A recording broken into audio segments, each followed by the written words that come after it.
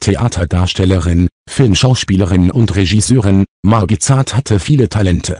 Nun ist der Star der Nachkriegskinos im Alter von 95 Jahren verstorben. Wie der BR aus Familienkreisen erfahren haben soll, starb die Schauspielerin am Montag, dem 07. August. Margit Zardt galt als die verführerische Schönheit in den Nachkriegsfilmen.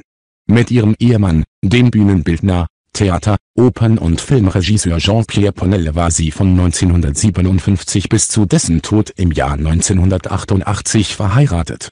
Das Paar arbeitet sogar zusammen, Jean-Pierre als Regisseur und Margit als Schauspielerin in seinen Filmen. Ihr gemeinsamer Sohn Pierre Dominique verschlug es hingegen in die musikalische Richtung, er ist Dirigent und Komponist. Margit Zart war eine Frau, die sehr genau wusste, was sie wollte. Das zeigt nicht nur diese kleine Anekdote, Ihre Mutter dürfte dabei keine geringe Rolle gespielt haben, eine sehr emanzipierte Frau, wie Margit Zart selbst sagte.